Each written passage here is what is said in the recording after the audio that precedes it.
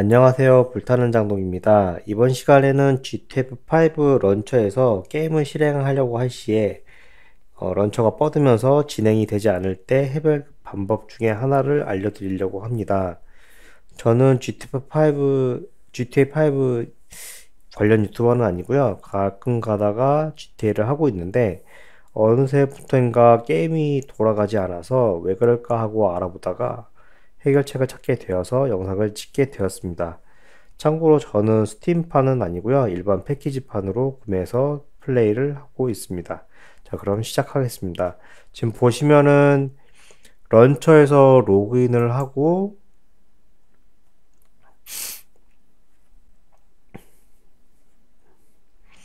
여기에서 플레이 버튼을 누르면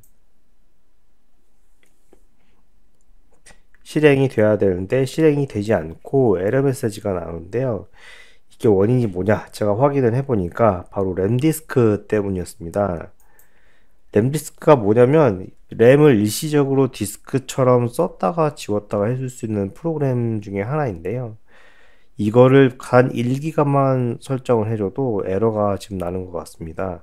제가 이거를 쳤다가 되게 지금 헤매가지고 과연 이게 원인이 못 가다가 최종적으로 제가 램디스크를 설치한 후부터 이런 거를 이렇다는 걸 제가 지금 확인을 해가지고 그걸 할당을 해제를 하니까는 이제 게임 쪽 게임 정상적으로 진행이 되, 더라고요 그래서 이거를 없애줘야 되는데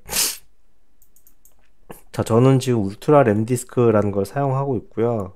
이거를 제거를 하고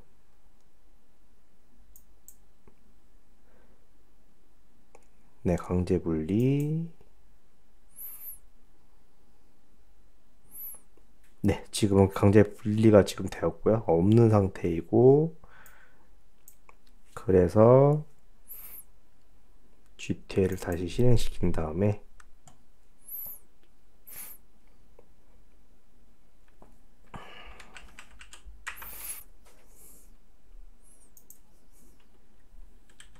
로그인을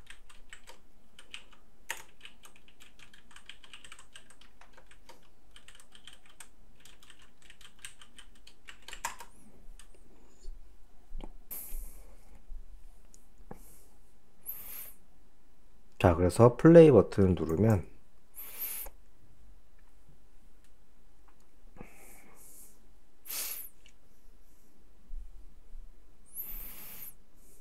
자, 플레이가 게임 화면이 나오시는 거를 볼 수 있습니다.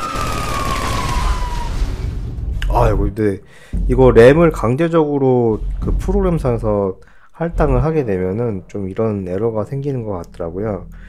그래서 혹시 이런 에러가 나시는 부분들은 특정 프로그램을 사용해서 강제적으로 램 할당을 했다든지 아니면 그래픽카드에다가 뭐 할당을 했는지를 한번 확인해 보시고 그렇게 되어 있다면 해제한 후에 다시 한번 진행해 보시면 어떨까 싶습니다. 문제 해결에 도움이 되셨기를 바랍니다. 영상을 시청해 주셔서 감사합니다.